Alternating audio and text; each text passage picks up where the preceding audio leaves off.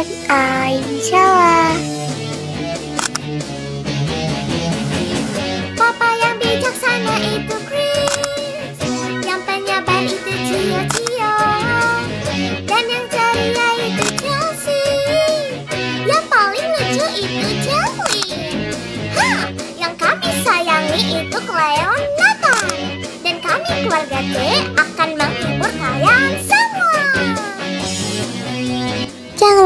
follow akun media sosial aku lainnya. Jangan lupa subscribe ya teman-teman. Ganteng dan cool. Aduh, siapa lagi nggak kalau si pangeran? Wih, beruntung banget lo Cantika kalau memang benar ya si pangeran yang bayarin lo. Tapi jangan-jangan orang lain lagi yang ngasih, bukannya pangeran. Lu jangan pedean. Ih, gue yakin dia Tessa. Soalnya si mbaknya bilang ciri-cirinya itu ganteng dan cool. Siapa lagi kalau nggak pangeran? Cowok ganteng dan keren di sekolah kita kan cuma dia. Ah, menurut gue bukan pangeran doang lah cowok ganteng dan keren. Kalau gue pribadi ya, Kyle juga cowoknya ganteng dan keren. Cio juga. Siapa lagi tuh temannya itu namanya? Hah, Kelvin juga dia keren tahu. ya ampun.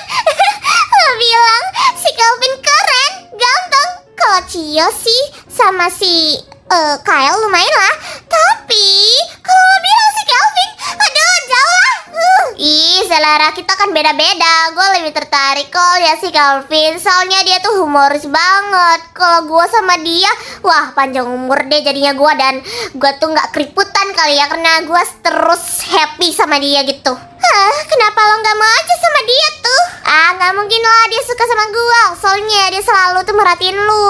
Gue jadi minder nih kalau deketin dia karena dia tuh tipenya lu banget. Ah, udah deh Tessa, lo nggak usah deketin si Kelvin. Mending lo cari yang lain. Tapi jangan deketin pangeran ya. Pangeran cuma milik gue. Yaudah deh Tessa, gue mau tanya dulu sama si pangeran. Apa benar dia yang bayarin gue makan tadi?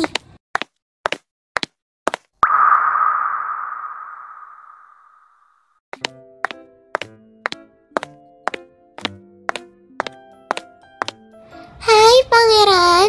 Eh ya, hai Cantika. Eh Cantika, kemarin pertunjukan kamu bagus banget loh. Cocok deh kamu pasangan sama Cio. Dan kamu cantik banget. Makasih pangeran, tapi pangeran yang lebih cocok jadi rajanya itu pangeran loh. Kalau Cio sih cocok juga. kamu bisa aja sih. Oh ya Cantika, gua mau ke kantin dulu ya. Lu mau ikut nggak biar gua traktirin deh? Hah? Kenapa pangeran ngajak gue makan? Berarti yang bayarin gue makan tadi jangan-jangan bukan pangeran.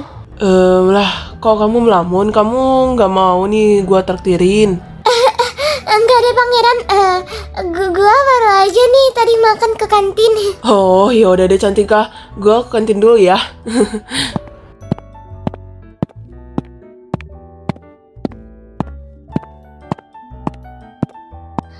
kok malah ngelamun? Gimana nih ceritanya? Apa benar pangeran yang diam-diam bayarin makanan lo? Hah? Ah, gua ngerti kalau pangeran yang diam-diam bayarin makanan gua. Kan gak mungkin dia ngajak gua makan lagi barusan. Jadi siapa ya kira-kira? Huh. Bener kan kata gua, nggak mungkin lah pangeran. Ya pasti orang lain lah yang bayarin makanan lo. Hah? Lu teman gua atau haters gua sih? Kok lu malah ngejek gua? Hah? Bete gua jadinya liat lu. Uh. Aduh, sorry sorry Cantika, bukannya maksudnya untuk ngejelekin lu, tapi maksud gue tuh pasti ada orang lain nih selain pangeran yang mau deketin lu. Hah, tapi siapa ya? Gue jadi penasaran banget nih. Hah, udah deh Cantika, lu juga suatu saat nanti bakalan tahu kok siapa yang diam-diam ngefans sama lo. Dan gue yakin dia nggak sekali aja buat surprise kayak gini ke lo. Pasti dia bakalan buat lagi. Dan gue yakin eh, yang kedua kali ini lu bakalan tahu siapa orangnya. Ah, benar kata lo, pasti dia bakalan buat surprise lagi ke gua. Tapi jujur ya, gua gak kecewa sih. Kenapa bukan pangeran aja sih? Yaudah yuk kita masuk aja ke kelas. Hah. Eh, dok, saya udah menghubungi pihak keluarga Angel. Dalam beberapa hari ini, keluarga Angel baru akan tiba di Indonesia. Jadi, saya aja yang akan menandatangani surat persetujuan operasi Angel, dok. Oh, oke Pak, ini dia formulirnya ya Pak. Eh, ini dok, saya sudah menandatangani suratnya dok. Jadi kapan nih dia bisa dioperasi dok? Ah, Jadi begini Pak, karena pasien sekarang sedang mengalami kritis. Hari ini juga kami akan mengambil tindakan untuk segera mengoperasi pasien, Pak. Ah, baik dok, kira-kira berapa jam ya operasinya berlangsung dok? Ah, operasinya memerlukan banyak sekali waktu, kurang lebih 12 jam, Pak. Baiklah, Pak, saya dengan tim medis yang lain akan segera melakukan tindakan operasi. Jadi, Pak, em, saya tinggal dulu ya. Ah, iya, baik dok, makasih ya dok.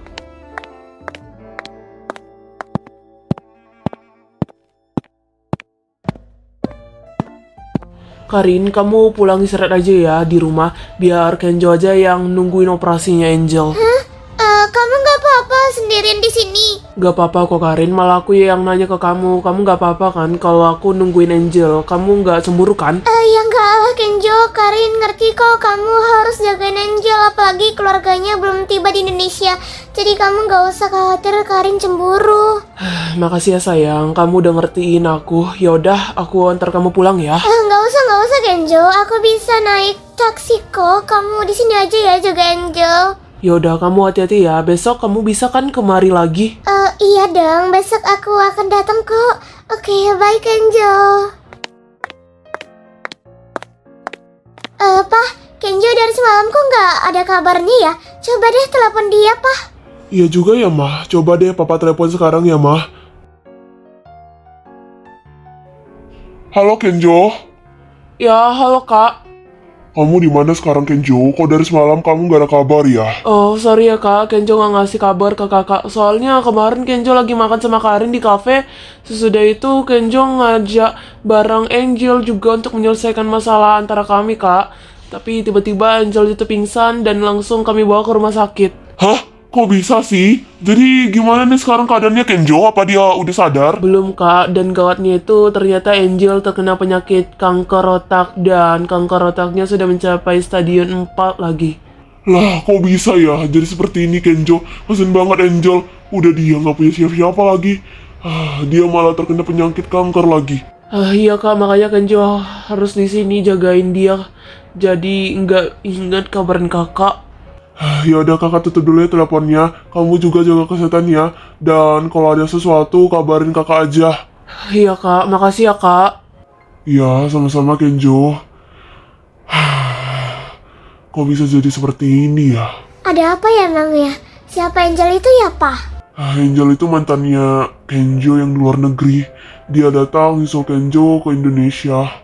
Lah, Pak, kok bisa sih dia nyusul ke Indonesia? Padahal dia kan udah mutusin Kenjo karena dia udah mau nikah kan dengan orang lain, Pak.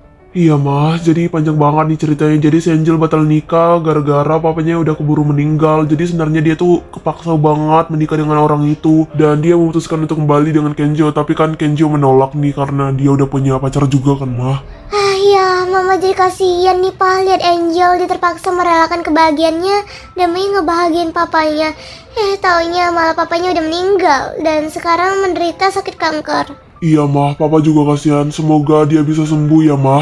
Amin. Oh iya Pak, Papa nggak jemput anak-anak. Udah waktunya nih Pak, mereka pulang. Oh yaudah mah, papa sekarang aja ya pergi jemput mereka. Oke mah. Iya Pak, hati-hati ya Pak. Iya mah.